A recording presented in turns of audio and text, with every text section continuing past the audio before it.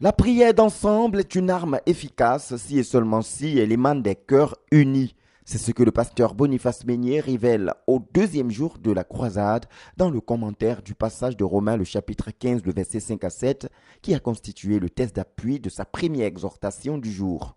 Pour prier ensemble, il y a des conditions à remplir. On peut se réunir, We can gather, c'est déjà un point, it's already one point, mais il faut avoir les mêmes sentiments. but we must have the same feelings. Nous devons avoir la même vision de notre Dieu. We must have the same vision of our God. Quand on est unis en esprit, When we are united in spirit, quand nous ouvrons nos bouches, when we open our mouth, Dieu nous exauce. God answers us.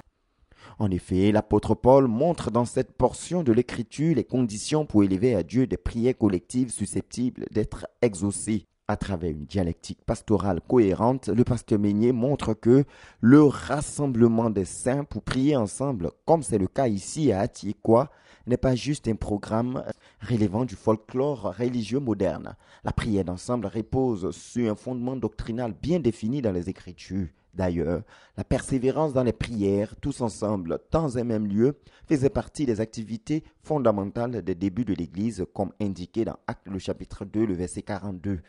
Cependant, l'exaucement des prières collectives a des principes qui l'encadrent.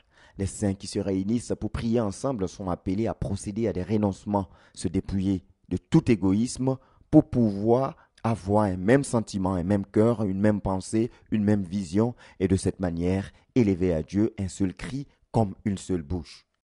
Les gens qui sont divisés ne peuvent pas présenter à Dieu une seule bouche.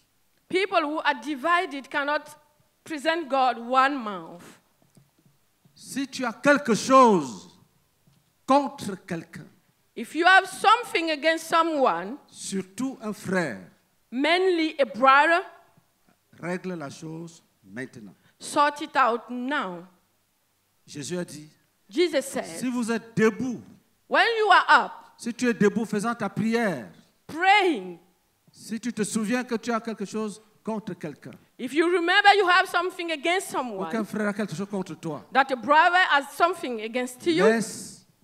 Donc, il dit, pardonne d'abord avant de continuer la prière. first forgive before going on your prayer. Et si c'est un frère qui a quelque chose contre toi, And if it is a brother who is laisse against l'offrande, you, va d'abord te réconcilier avec le frère. put your offering aside, go and first reconcile with a brother. Nous devons avoir une même bouche, une seule bouche. We must have only one mouth. Les forts The strong doivent ones accueillir les faibles, must welcome the weak ones. doivent avoir un même sentiment. They must have one feeling. the Et quand same nous allons feeling. dire, oh Dieu, and when we say, Oh Lord, exauce-nous, answer our ça prayers, perce le ciel. it pierces heaven Ça nous présente, ça nous introduit nous tous devant Dieu. and introduce all of us before God. Est-ce que nous sommes ensemble? Are we together? Oh Dieu, Oh God, exauce-nous. answer us. Ça devient une seule bouche. It's become only one mouth. Le livre des Actes des Apôtres, le chapitre 4, les versets 23 à 31, donne un exemple pratique du principe développé par l'orateur au cours de cette deuxième journée.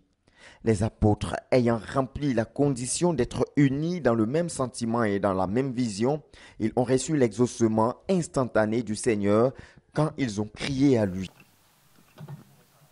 Les apôtres Apostles avaient rempli la condition d'être un fulfilled the condition of being one et d'avoir les mêmes sentiments. and to have the same feelings. Ils avaient le même Seigneur. They had the same Lord. Ils avaient le même zèle. They had the same zeal. Ils avaient la même vision. They had the same vision.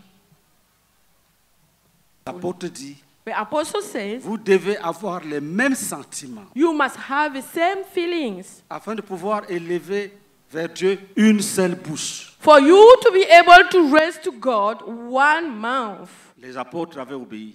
Apostles obeyed. La parole de Dieu dit, The word of quand God says, ils ont fini de prier, when they finished praying, le lieu où ils étaient trembla. the place where they were, La terre tremblé. Boum, boum, boum, boum, boum.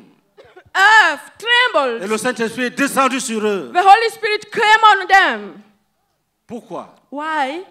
Une seule et même bouche. Only one and same mouth. Pour prier ensemble, To pray together, nous sommes obligés we are obliged de nous soumettre à l'Esprit de Christ. to submit to the Spirit of Christ.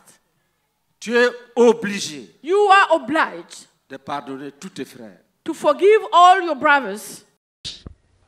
Appelés à crier à Dieu pendant ces 40 jours, principalement en vue de la délivrance de leur famille de toute forme de blocage, de malédiction et de captivité, les participants à la croisade pour le renversement des principautés personnelles et familiales ne devront donc pas seulement se concentrer sur ce que Dieu doit faire pour eux sans prendre le soin de se conformer aux conditions d'exaucement qui relèvent de leur responsabilité et de leur coopération active avec le Seigneur.